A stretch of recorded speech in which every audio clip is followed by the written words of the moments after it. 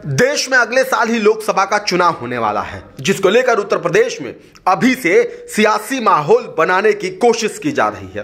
सभी पार्टियाँ अपने अपने वोटरों को साधने, लुभाने में लगी हुई है। इसी बीच उत्तर प्रदेश की राजनीति में इस समय समाजवादी पार्टी के महासचिव शिवपाल यादव के एक बयान से सियासी हलचल तेज है।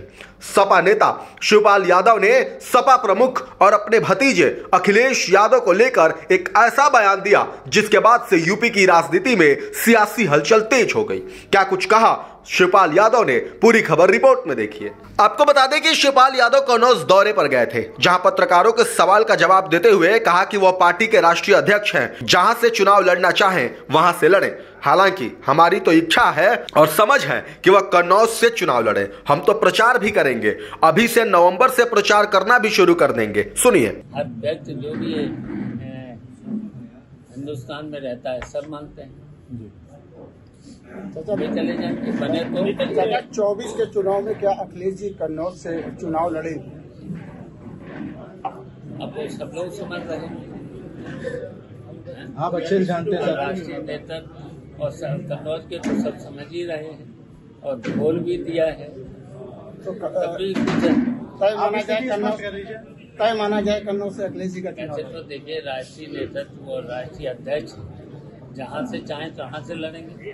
लेकिन मैं तो समझता है हम तो समझते हैं हम तो कहिए कन्नौज से भी लड़े अच्छा, चाचा जी की क्या इच्छा है? चाचा की राय क्या है? अखिलेश जी कन्नौज से चुनाव लड़े दोबारा। हमारी तो इच्छा है लड़े। कन्नौज से? हम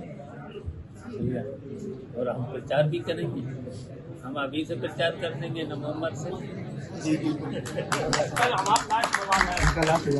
तो सुना आपने, मेरी तो इच्छा है कि अखिलेश यही यानी कन्नौज से चुनाव लड़े। इसके पीछे भी बड़ी वजह है। वजह यह है कि यूपी की कन्नौज लोकसभा सीट पर समाजवादी पार्टी का दबदबा रहा है। हालाँकि, इस समय यह सीट बीजेपी के खाते में है। साल उन्नीस से 2014 तक इस सीट पर सपा का कब्जा रहा है।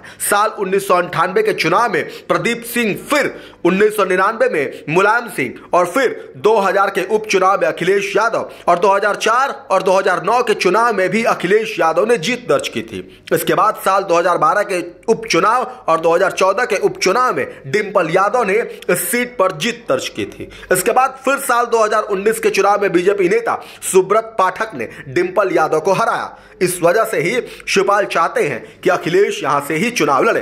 बहरहाल, आपकी इस खबर पर क्या राय है? हमें कमेंट बॉक्स में ज़रूर बताएँ। VK news Uttar Pradesh Uttarakhand. सच का सारथी।